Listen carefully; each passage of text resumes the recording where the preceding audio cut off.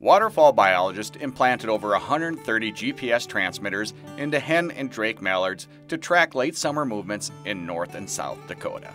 So, several years back, we uh, started seeing a lot more uh, clear late summer movements of birds out of breeding areas, and we were getting kind of that same indication from hunters, seeing a lot of duck production, and then come uh, hunting season, the birds just weren't there. Szymanski says it's difficult to study ducks in late summer because birds move around a lot. Yet, with the advancements in technology, including smaller batteries, a study such as this one is possible. We had the ability to pursue a, a GPS transmitter uh, study to, to look at some of the aspects of post-breeding ecology of mallards uh, in late summer. And that study design that we use also lends itself to many other uses of the data. So we'll be able to uh, work this project angle from many angles and figure out a lot of uh, movement dynamics, migration dynamics of mallards in the fall.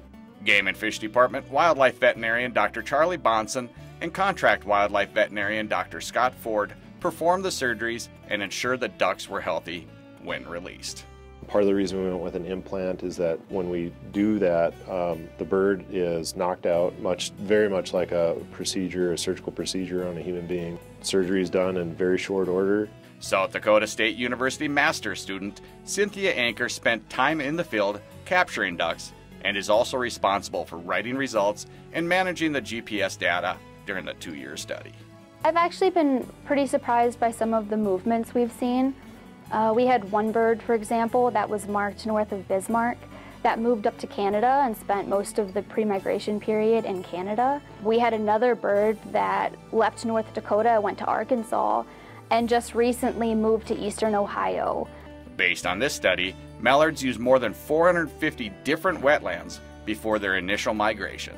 This is Mike Anderson in the North Dakota Outdoors.